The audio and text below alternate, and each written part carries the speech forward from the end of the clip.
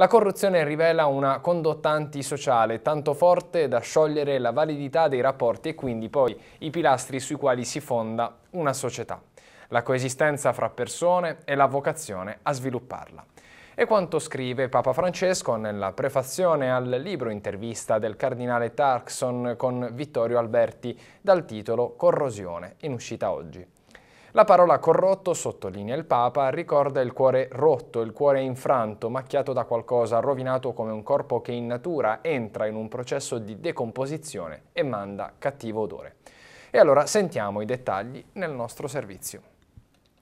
La corruzione è il linguaggio più comune anche delle mafie e delle organizzazioni criminali nel mondo. Lo scrive Papa Francesco nella prefazione al libro intervista del cardinale Tarkson.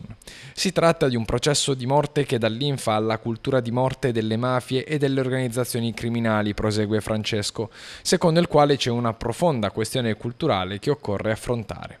Il Papa la formula così.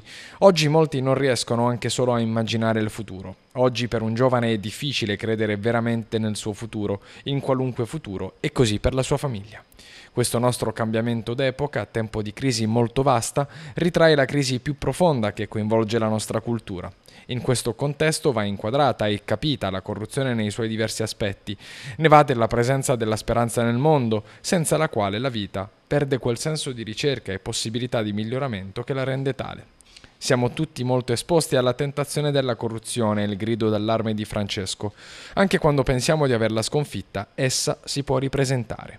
La Chiesa deve ascoltare, elevarsi e chinarsi sui dolori e le speranze delle persone secondo misericordia e deve farlo senza aver paura di purificare se stessa, ricercando assiduamente la strada per migliorarsi. Infine dobbiamo parlare di corruzione, denunciarne i mali, capirla, mostrare la volontà di affermare la misericordia sulla grettezza, la curiosità e creatività sulla stanchezza rassegnata, la bellezza sul nulla. Noi, cristiani e non cristiani, siamo fiocchi di neve, ma se ci uniamo possiamo diventare una valanga, un movimento forte e costruttivo, assicura Francesco. Ecco il nuovo umanesimo, questo rinascimento, questa ricreazione contro la corruzione che possiamo realizzare con audacia profetica. Dobbiamo lavorare tutti insieme, cristiani, non cristiani, persone di tutte le fedi e non credenti, per combattere questa forma di bestemmia, questo cancro che logora le nostre vite l'invito del Papa.